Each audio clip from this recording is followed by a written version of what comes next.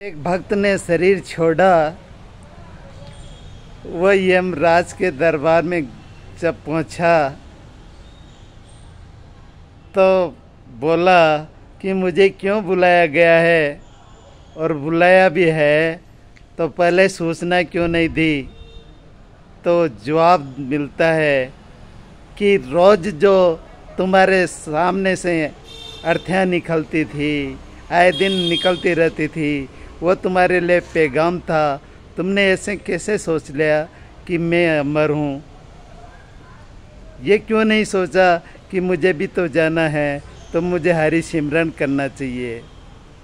दास की duty ICU में है, जहाँ रोज़ एक दो मौतें होती किसी रोज़ तीन चार मौतें होती है।